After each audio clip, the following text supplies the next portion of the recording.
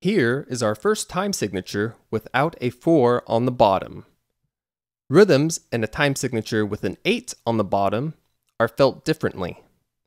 Instead of two eighth notes occupying a single beat, a set of three eighth notes does.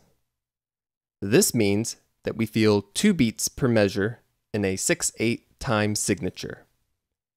Here is what this sample measure looks and sounds like.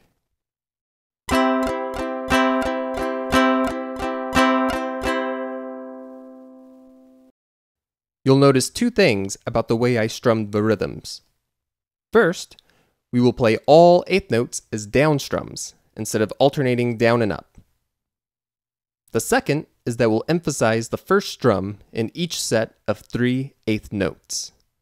This helps to make the two beats per measure feel more obvious.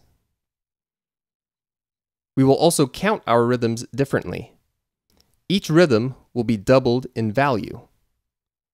This means that the dotted half note is now worth 6 counts instead of 3. The dotted quarter note is worth 3 beats instead of 1.5. The quarter note is worth 2 beats instead of 1. And an eighth note is worth 1 beat instead of half. Here is what exercise 1 should look and sound like.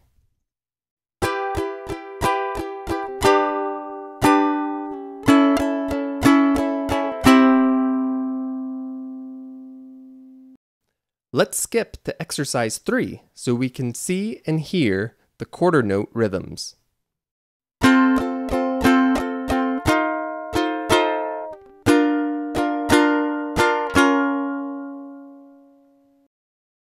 Page 37 features one of the most well-known 6-8 songs, House of the Rising Sun.